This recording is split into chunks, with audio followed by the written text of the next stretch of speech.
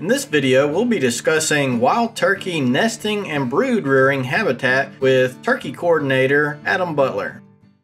The biggest limiting factor to turkey populations is recruitment of the young. Because of that, nesting habitat and the brood habitat that poults use right after they hatch is the most important habitat component for turkeys across Mississippi. When good nesting and brood habitat are well distributed, it can increase the ability for hens and poults to remain hidden, which will increase nesting success and survival of the young. Most adult turkeys were going to lay a nest, and here in Mississippi, that usually happens around mid-April to mid-May. It takes a hen about 10 days to lay her eggs. It takes her about 28 days to incubate those eggs. And then there's about another two weeks that the poults are flightless. So there's almost a 60 day window in there where hens and their young are highly exposed to predation and they have to have really good cover on the ground to remain hidden to avoid those dangers. Nesting hens and young poults are extremely dependent on really specific types of vegetation that offer a lot of cover and concealment. So for nesting hens, that's going to be an understory with a heavy shrub component. And for poults, that's going to be areas with a lot of weeds, a lot of herbaceous cover, uh, any kind of community that's going to provide sort of an umbrella of vegetation over the poults and keep predators like hawks and other things from seeing them easily. And also be full of a lot of bugs because that's what they really, really feed on during that first month of life. Ideally, your nesting cover and your brooding cover should all be arranged close together. That will allow the hen, when she hatches her young, to take them directly into the places that they're going to be bugging. And the less distance she has to travel to do that, the better the odds of their survival will be. Adult turkeys like really open habitat types, open hardwood bottoms, really open pine stands. They like places where they can use their eyesight to detect predators. But those aren't the places where you're going to have nests and broods. So the thicker cover that nesting hens need and that young poults need when they're bugging, it's going to be avoided by adult turkeys for most of the year, but you still got to have it. And so that makes arrangement of all of these different habitat types really important. The best turkey properties are going to be those sorts of places where you have a lot of different habitat type all intermingled amongst one another. Good brooding habitat usually comes a year or two after some sort of disturbance, whereas nesting habitat follows the third or fourth year after a disturbance. When we talk about disturbance, we're talking about anything that resets plant growth. So that may be a prescribed fire, that may be a timber harvest operation, that may be creative use of a disc in an old field area, that may be selective application of herbicides.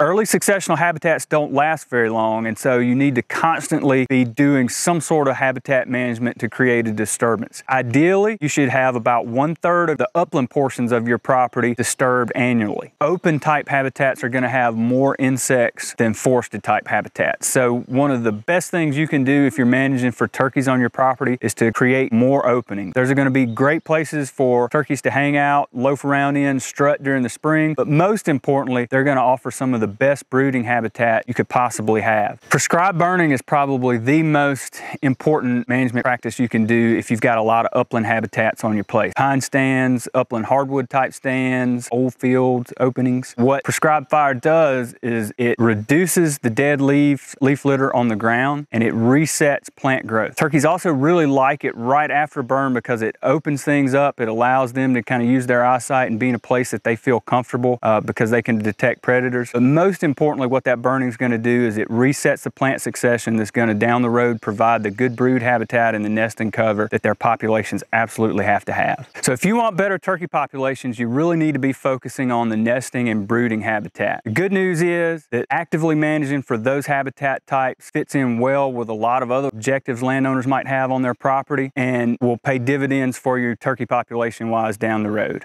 For help in setting up your property for wild turkeys and other wildlife management guidance, visit our webpage at mdwfp.com slash private lands to request a free site visit with a wildlife biologist.